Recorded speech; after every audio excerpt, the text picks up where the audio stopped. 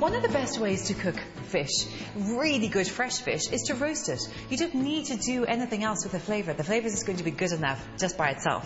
So I've got this lovely fresh haddock and that's going to be absolutely gorgeous. Cut into steaks, drizzled with a bit of olive oil, sea salt and pepper, popped in the oven to roast. And I'm going to serve this with a really lovely lemony and basil potato salad. So I've got some potatoes cooking in here, some lovely new waxy potatoes, some spring onions, lots of fresh basil and a lemon. To prepare the fish, I'm just going to remove the head, just cut under here, like that on one side, turn it over, like that. Okay, just remove those little bones there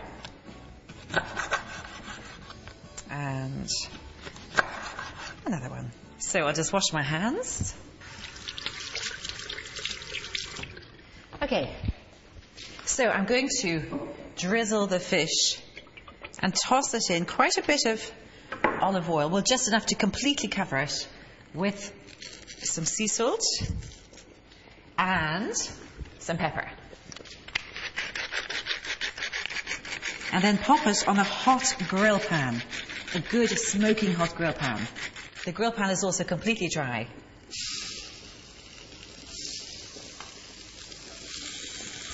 There. So I'm going to cook it on one side, just let it get lovely brown score lines on the underside, and then I'm going to turn the fish over, pop it into a hot oven, and it'll only take these little steaks, I think will only take about another eight or so minutes to roast.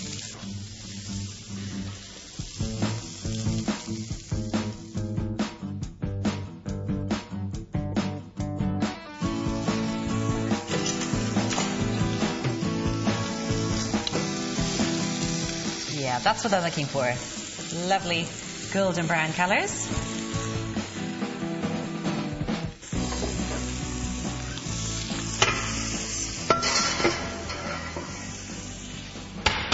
So to go with the fish, I'm just going to serve a really simple potato salad. And the potato salad, this isn't one with mayonnaise, it's just one with lots of lemon juice, really good olive oil, sea salt and pepper, and a little bit of chopped spring onion with basil. Check to see if the potatoes are cooked. Great, they are. So I'm going to drain the potatoes. There we go.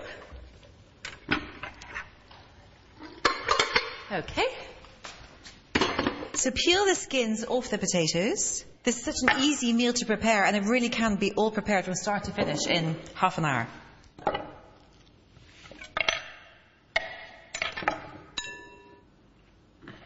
Now I'm just going to check the fish because there are quite small little pieces of fish in a small haddock. And yes, you can see it's done because, oh, it's hot. Look how the flesh, the meat, is starting to come away from the bone in the centre. So I'll just allow the fish to sit there for a second and finish off the potato salad. I have the potatoes in there.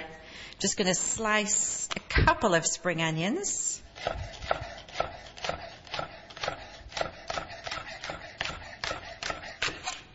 Great. So lots of lemon juice. Some basil. I want to slice the basil or you could tear it.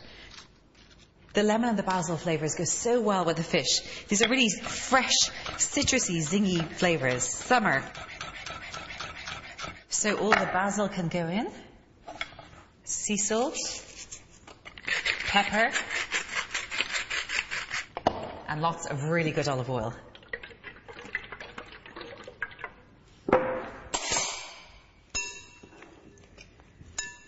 And give it a stir. And as always, just taste a little bit so you know it's got the right balance of flavours. Mmm. Oh, that's excellent. Okay, so now I can serve this.